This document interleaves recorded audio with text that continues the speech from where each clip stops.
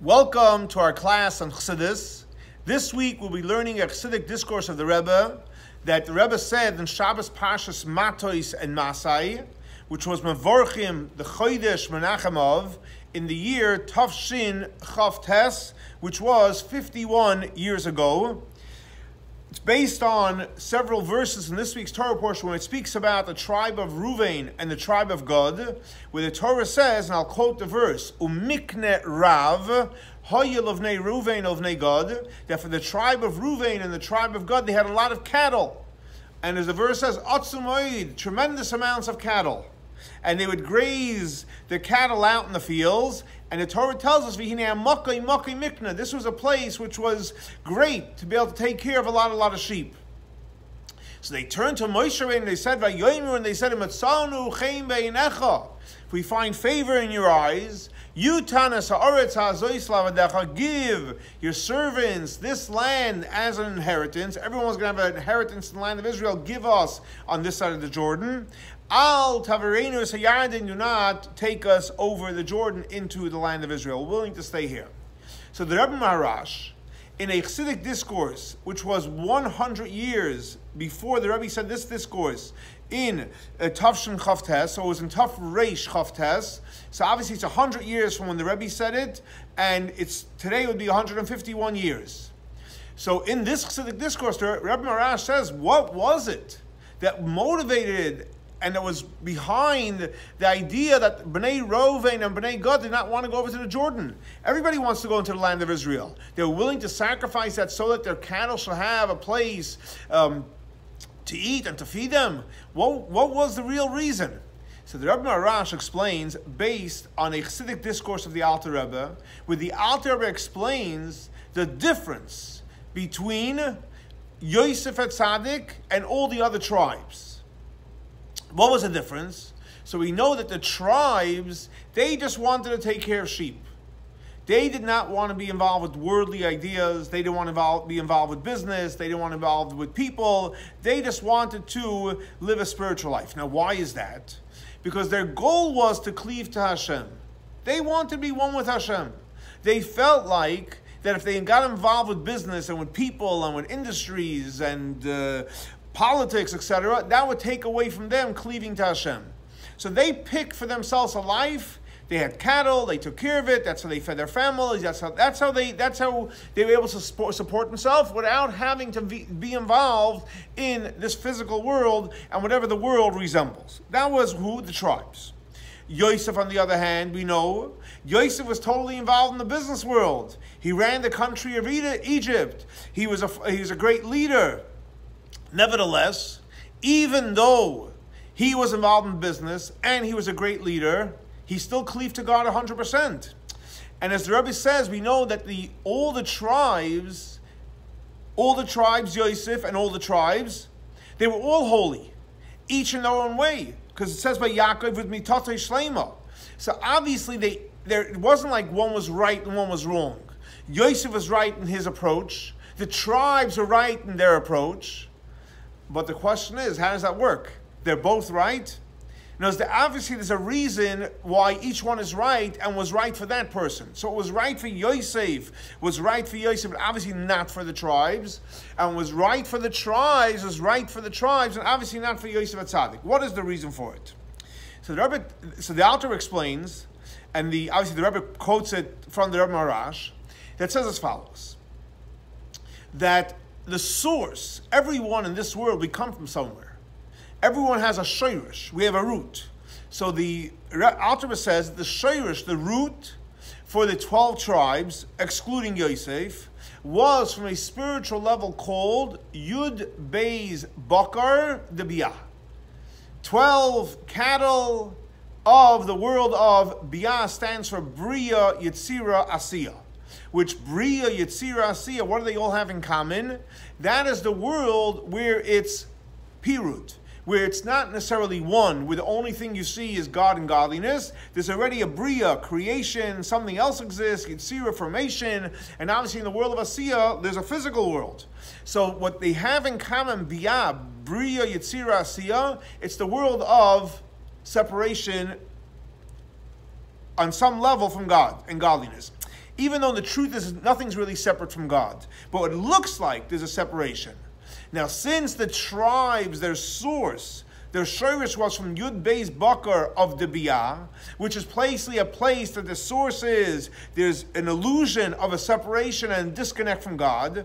So they were concerned that since they were prone because of their source, if they got involved in the world, they would be disconnected from Hashem. And they did not want to be disconnected from Hashem. So because they didn't want to be disconnected from Hashem, they chose to be taking care of the sheep, and this way they would be like in a safe zone and they wouldn't be distracted from the world. So that applies to who? To the tribes. On the other hand, what was the shirish of Yosef? So we all know Yosef was called Tzaddik Elyon, a high level of a, tzaddik. And his shirish was the world of Atzilut. What is the world of Atzilut? The world of Atzilut, we know it comes from Eitzel, it's right next to Hashem, where everything is unified. In the world of Atzilot, the only thing you see physically, spiritually, even in the illusion, it's only Hashem. You only see not only the part of Hashem, you see the Achdus Hashem, that it's really all about Hashem.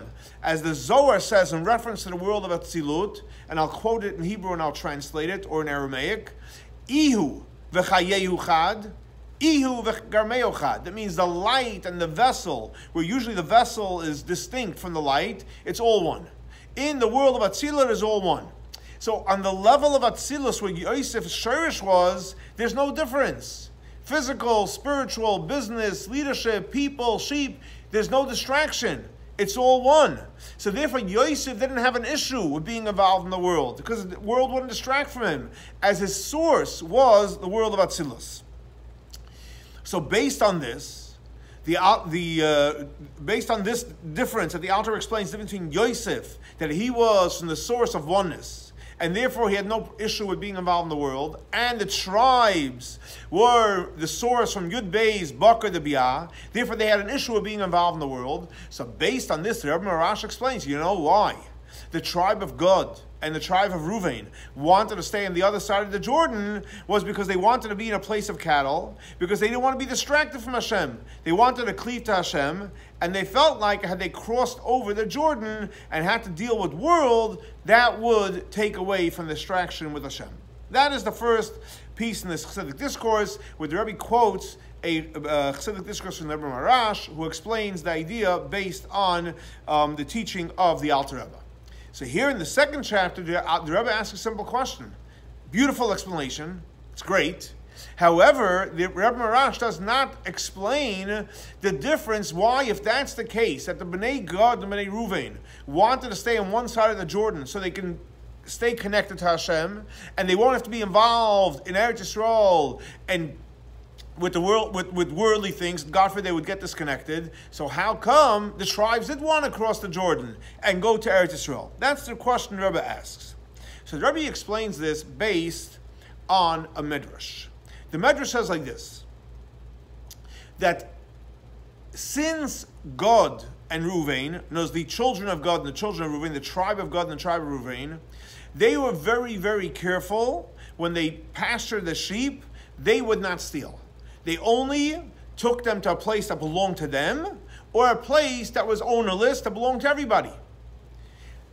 So therefore, because they were so careful not to steal, so Hashem gave them an inheritance, a place where they will have the opportunity to be able to take care of the sheep without stealing. And that's why the verse said, how do they refer to the place on the, on the side of the Jordan where they were, where they wanted to keep it? Which means it was a place to graze the sheep. And because they were careful not stealing, therefore Hashem gave them that place as a gift. Again, to underscore that there was something unique and something special and different about the tribe of Gad and Ruvain, that they were very, very careful not to, God forbid, steal, and that's why they received a place on, the, on that side of the Jordan. That is one medrash. Now, what does that mean on a spiritual level? They were careful not to steal.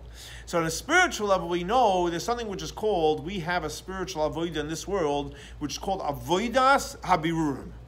Our job in this world is avoida, it's work, spiritual work, to be mavarer, which means in this physical world that we're in, so it looks like it's a physical world, but the tr- reality is why are we in this physical world? Because in this physical world, whether it's in uh, food, whether it's in drink, whether it's in places, there's holy sparks. Our avoida in this world is to elevate those holy sparks. So that's why, for example, when you sit down to eat or when you want to take a drink, you make a blessing beforehand. Why? Because there's a holy spark that's in there that needs that blessing to be elevated. Or, for example, the Baal Shem says, when you come to a place, anywhere you are, you're traveling, say a Dvar Torah, share a Torah thought, uh, discuss an idea in Torah. Why? Because the place wants, wants to and needs to be elevated. And by you doing something holy and spiritual, you're actually elevating the place that you're in. So, therefore, the, a job of avoidus berurim on a spiritual level, if you think about it, it's like really stealing. Why? Because the place is, is there. It's doing its thing. The food is doing its thing. The drink is doing its thing. What are you coming along? And you're yanking out the godly spirit, which is a spiritual form of stealing. You're pulling out the godly spirit. So, in other words, just like on a spiritual level, that the um, Bnei Gad and Reuven wanted to stay on one side of the Jordan because they didn't want to steal anything physical. They want the same thing also on a spiritual level. They didn't want to be busy in the land of Israel with avoidus of Berurim to having to steal these holy sparks. They just wanted to live a beautiful, simple, peaceful life. And which is interesting is the Rebbe brings the famous story where, which is another medrash, that um, medrash says that when Yaakov met Esav, and we know that they were are they Esau wanted to kill Yaakov, so Yaakov says, "Hey, to relax." There's two worlds.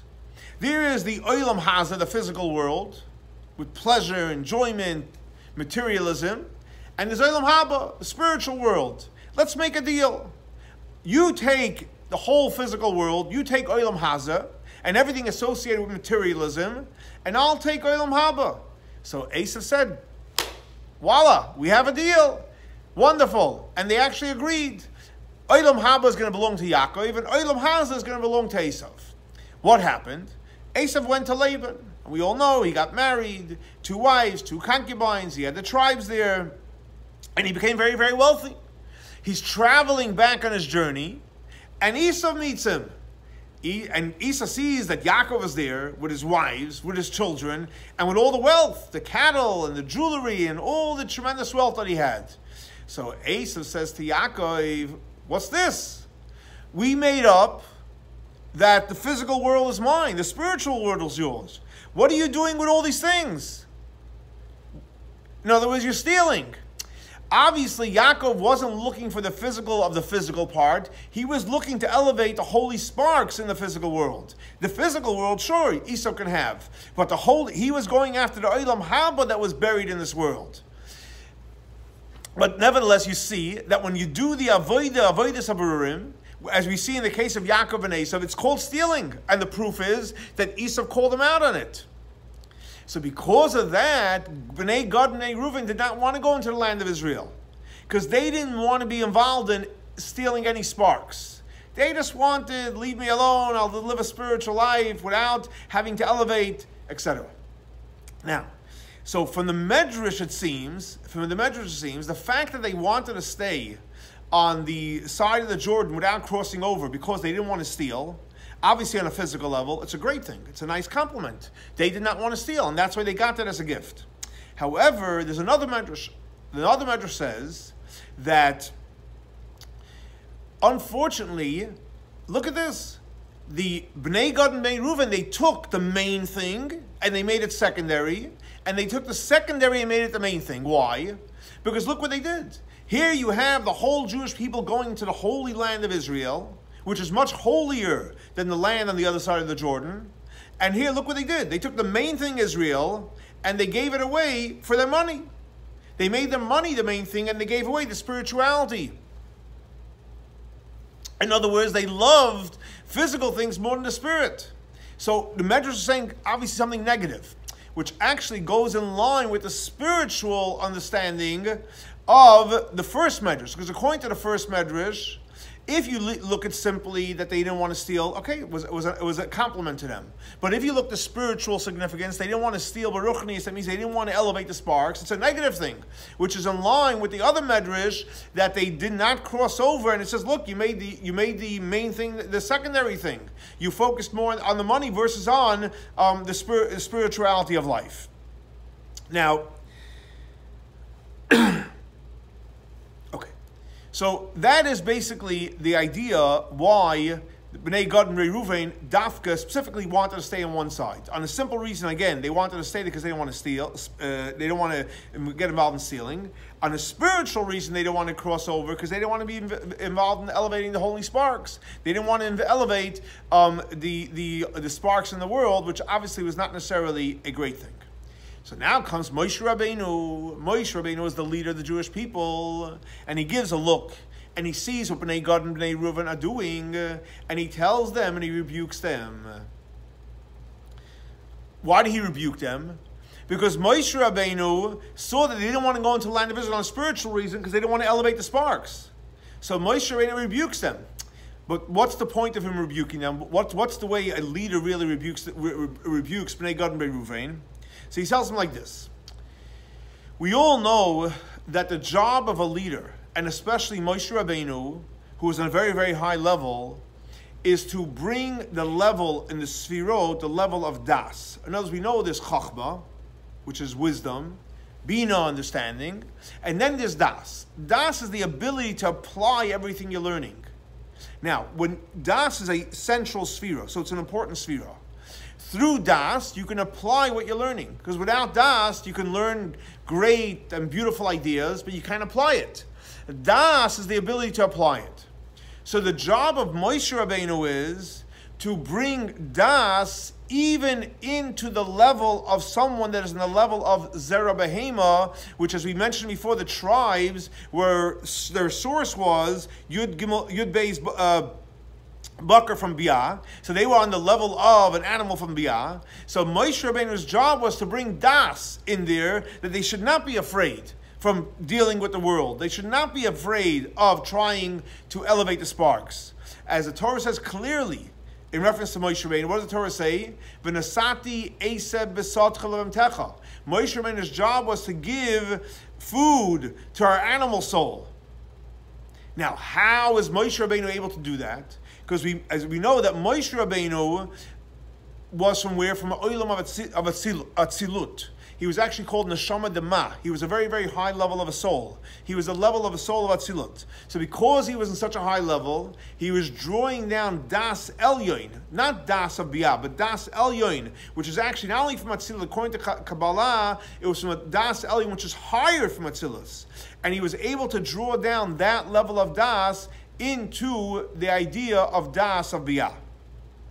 So therefore, since Moshe Rabbeinu was on such a high level, his job was to draw down Das of Atzilus. There's just like the way in Atzilus, what do we see? It's only Hashem. It's only the oneness of Hashem. So he draws down that level of Das into Biyah, or for example, as we mentioned before, Yud Beis Bakar Biyah and therefore when they're when, when you're when you're involved in the world, you're able to not be distracted by it. How did Moshe Rabbeinu go ahead and do that? So therefore Moshe Rabbeinu told them that in order for them to stay on that side of the Jordan, but you have to get the message and the mission that really life is not about staying on the other side and staying away from the world, but you have to engage in the world. So Moshe Rabbeinu inspired them by telling them, if you want to stay there, as a leader, I can't just let you stay there. I need to infuse you and inspire you to be willing to go on Mesiris Nefesh.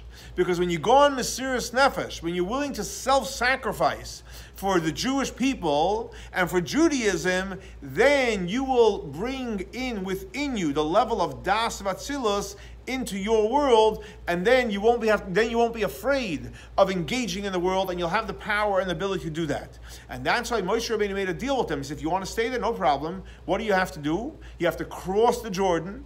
And you have to fight, and actually, matter of fact, you have to fight in front of them. Once they conquer the land and everyone is settled, and you've been infused with Mesiris Nefesh, then you will be able to go back onto the other side of the Jordan. Why is that? Because the way it works is Eretz Yisrael is the highest level. That's the highest level of spirituality. Eretz Canaan, before they conquered it, was lower. The other side of the Jordan is even lower. And then there's the whole world. Because they were going back to the other side of the Jordan, which is technically part of Eretz Yisrael, but nevertheless it's a lower level. They had to go through the Mesiris Nefesh so that they can bring the level of Das of Atzilus into their lives. And based on this, the Rebbe explains beautifully the beginning of this week's Torah portion of Parshas Matos. The beginning of Torah portion of Parshas says as follows: Vayidaber Moshe, Moshe Rabbeinu speaks, El Roshe, the head of Hamatos, of the tribes, and he tells them the laws of Ishki and Yidor Neder, the laws of making an oath. Um, and how you make the oath, and how, God, if you make an oath that you want to take it away, that um, a chacham, someone that's a wise person, could go ahead and take away the oath. Not only can you take it away, but you can take it away from begin with. That it's not even an oath to begin with. And Torah says, "Leimer zehadavar." This is the word as Shiva Hashem. So the Rebbe explains what is the whole idea that the chacham, a chacham has the power to take, to take away an oath. You made an oath. So if you made an oath you're not going to do something, how can you go ahead and do it? Where does the chacham have the power to do it on a spiritual level? Rebbe explains like this. What is the idea of an oath? A neder. What's a neder? A neder, the dynamic, the mechanics of a neder is the things that are permissible, whatever it may be, food, drink, places, people that's permissible, and you make a neder. What means a neder? You're separating yourself from it. So neder is a, a vow of separation. Where does separation start in the world of the Sfirot? So we know in the world of the Sfirot, when separation starts, if you start, we have 10 Sfirot, starting Keser, Chachma, Bina, Das, and the emotions. The, the world of separation starts in the sphere of Bina. In the sphere of Bina, that's where the, that's where the separation starts. Why is that? Because up until Bina, Keser, Taina Grotzain, and Chachma, that is a humble sphera. There's, there's no existence yet of anything, anything other than Hashem. However, when Bina starts, that's where Yeshus start. That's where the ego kicks in. So because that's when the ego kicks in, so that's why Bina is connected to the idea of a vow, and that's why you have to make a separation. So when do you need a separation? If you're connected to Hashem, there's no separation, you're connected to Hashem. But when you feel a disconnect, in Bina is where you start feeling the disconnect, you start feeling the, the yeshus, the arrogance. That's where you have to make a, a, a vow to separate yourself for it. However, when it comes to chachma, we know what does chachma mean? The koyach, the, the power, the ability of ma, to say what is it. What is what? When someone's able to say what is it, that's a that's a sign of humility. In other words, in Hebrew, it's called chachma, is the level of bittul b'metziut, where you're totally nullified. So, in other words, on the level of chachma, where a person is totally humbled, there's no reason to make a vow. And the world is, doesn't, is, doesn't get in the way. When does the world get in the way we have to make a vow? Bina. In the level of chachma, where it's totally bottle, you're not distracted, and you don't have to make a vow. So therefore, if you want to annul the vow, what does the Torah tell you? You have to go to a chacham. Because on the level of chachma, there is no vow to begin with. It's not like he has to make a vow, he has to figure out a way to break it. There's, he, he rips out the vow that there's no vow to begin with, because once you reach the level of chachma, the level of bittul, there's no separation. It's really all Hashem. And that's why it's interesting that the in the Talmud, Yerushalmi, it says that when Mashiach comes, or when a person's life is over, and they go through your life, and it's very interesting, uh, uh, Talmud, that you're going to have to give an accounting for everything that you saw that was kosher, food, every drink that you saw that was kosher, that you didn't stop, make a blessing and eat it or drink it. Why? Because since there's a holy spark in there, we have a mandate to elevate the holy sparks. Now, why do we stay away from things? Because on the level of Bina, we're in a lower level, so we stay away from it. But if you're on the higher level, you, sh- you should only see the holy sparks and elevate it. You shouldn't be afraid to elevate it. So when Mashiach comes, or after 120, you're going to have to give an accounting why you missed that opportunity to elevate the holy spark. And based on this, the Rebbe explains beautifully. That's the that's the that's the way the verse goes. Vayidaber Moshe, Moshe Rabbeinu spoke El Roshei Hamatos. So what is what is the, what is the spiritual understanding of the verse? Mata is a reference to our emotions. Mata, stick, power, emotions. Roshei is the head of the emotions. What's the head of the emotions? Bina, because the emotions come from Bina. Moshe, Moshe represent, represent, represents Chachma. So the way it works is Moshe, who's Chachma, brings down into Bina the level of Chachma, which goes down into the Midot. And when you have the Avodah where Moshe comes from Chachma into Bina into the Midot, then you don't have to run away from the world. You can engage in the world. Why? Because even though you're engaging in the world, which is separated from Hashem, because Moshe is shining, shining within you, um, you're able to, you have the power to elevate the world. And that's why the Torah says further, Zehadavar. Why Zeh Hadavar? Because we all know there's a difference in prophecy between Moshe Rabbeinu and all the other prophets. All the prophets, when they prophesied, they said, Koyamar Hashem. This is what Hashem said. It wasn't clear, it wasn't exact. Moshe Rabbeinu said, Zeh. This is exactly what Hashem said. Why? Because Moshe has the clarity through Chachma to see exactly what Hashem said, what Hashem wants from us, and not to be afraid of the world. We can deal with the world in a way of zeh. We can be clear, and we do not have to get, be afraid of being a, a distracted in the world. So, in other words, like this: even though our source is from Yud Bey's Bakr Debiyah, and we can technically be distracted, but through Zehadavar, if we connect to Moshe Rabbeinu, which is the clarity, we will have the power not to be distracted. And the Rebbe finishes off beautifully, and he says, we all know that Torah comes from the word of Hayra'ah. Torah, which means to learn Torah, comes from the word of lesson. Everything that you time you learn Torah, you have to ask yourself, what lesson can I take away from this Torah teaching? And the, the lesson the Rebbe says you can take away is very, very simple. That we need to have both forms of service, just like the tribes of Gad and the tribe of Ruvain. One hand, we know they inherited the land where? On the other side of the Jordan. They inherited the land, was the other side. They wanted peace and tranquility. That's great. But on the other hand, they were willing and they were ready and they actually went on Mesiris Nefesh. So, another, so you need to have both avoiders the avoid of your own space, but Mesiris Nefesh for someone else. Or like the Rebbe says, the exact the, the, like the difference between the avos, which are more living in a intellectual world, and the shvatim that engage the world. Or to use another term the Rebbe brings, a kabbalistic term, the, you need to have both the avoida of yichudei law and the avoida of yichudei tata, which I'll explain what they are. So there's the goal in life is we should be one with Hashem. Us and Hashem is one. Now, there's two ways to approach it. There's one is Yichud Elah, which means the only thing to begin with you see is Hashem. There's nothing that exists other than Hashem. Yichud means it's a oneness. Elah, it's a high level of a oneness. What's Yichudi Tata? That's a lower level of oneness. There's me, there's the world, but nevertheless, I cleave to Hashem. Two different avodas. In the Zohar, the Rebbe brings says, so what's our avoid in this world? Yichudi ilah, we shouldn't be disconnected from the world, or we should be connected to the world and in the world to see Hashem. And the Zohar says clearly, our main avoida in this world is the avoida of Yichudi Tata. The avoida of connecting to Hashem within the world. We should be involved in the world and connect to Hashem, create the oneness within the world.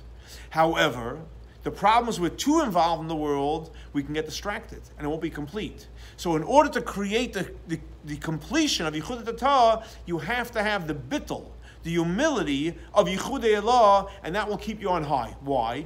Because in Yichud Tatah, you exist. You're one with Hashem. But when you exist, there's a yeshus there. So you need the humility of Yichud Allah, which blends together with the idea of the Yichud Tatah. And therefore, the Rebbe brings a famous story that um, the people of Jericho, they wanted just Yichud Elah. They wanted just to be one with Hashem.